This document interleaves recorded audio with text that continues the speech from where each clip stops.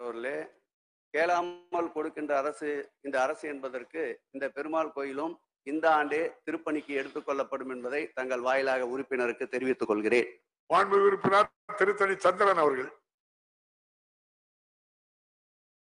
மாண்புமிகு பேரவைத் தலைவர் அவர்களே தமிழகத்தின் ஆறு படை வீடுகளில் ஐந்தாம் படை வீடான திருத்தணி முருகர் கோவிலுக்கு சுப்பிரமணிய சுவாமி கோவிலுக்கு இந்த ஆண்டு நடப்பு ஆண்டில் ரோப் கார் வசதி ஏற்படுத்தி தர முடியுமா என்பதை அறிந்து அதே போன்று திருத்தணி கோவிலுக்காக அமைக்கப்பட்டுள்ள மாஸ்டர் பிளானில் எந்தெந்த வசதிகள் அமைக்கப்பட்டுள்ளன என்னென்ன புதிதாக ஏற்படுத்தப்பட உள்ளன என்பதை தங்கள் வாயிலாக அமைச்சர் அவர்களை அவர்களை கேட்க விரும்புகின்றேன்.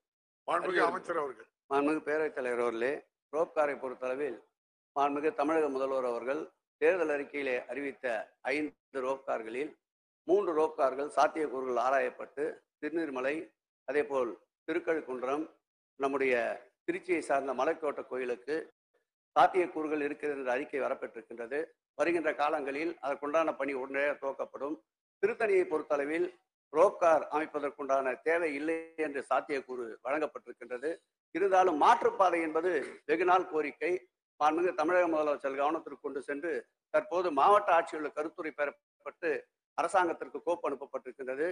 கேரளாவை சார்ந்த அதிகமான மக்கள் அந்த கோயிலுக்கு தரிசனத்துக்கு வருவதால் அந்த மாற்றுப்பாதை அமைக்கின்ற பணியை துரிதப்படுத்த மாண்புமிகு தமிழக முதல்வர்கள் உத்தரவிட்டிருக்கின்றார்.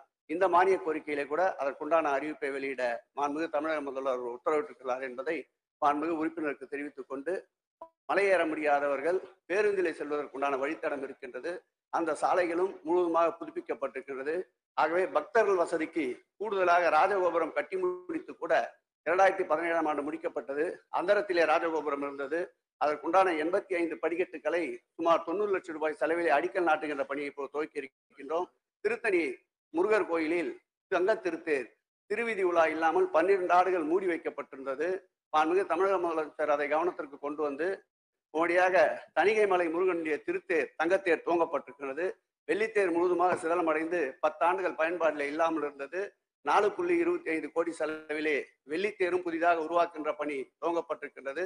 இந்த ஆட்சியை பொறுத்தளவில் மாண்புமிகு தமிழக முதலமைச்சருடைய ஆட்சியை பொறுத்தளவில் தெய்வங்களும் மகிழ்ச்சியாக இருக்கின்ற ஒரு நல்ல சூழ்நிலை இந்த ஆட்சியில் நிலவிக் கொண்டிருக்கின்றது. மாண்புமிகு உறுப்பினர் நார்வேல் எம் ஆர் காந்தி அவர்கள்.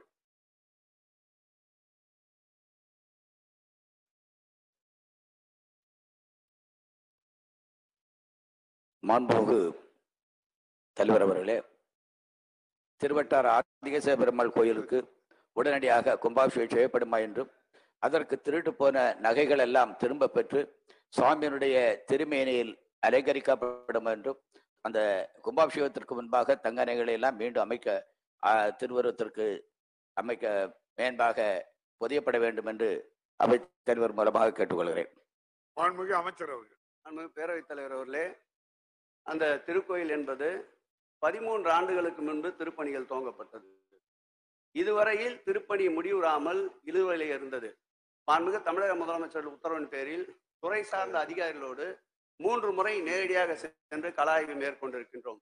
ஜூன் மாதத்தில் திருப்பணி நடைபெறும் என்ற அறிவிப்பை மாண்புமிகு முதலமைச்சர் அவருடைய ஒப்புதலோடு தெரிவித்து வந்திருக்கின்றோம்.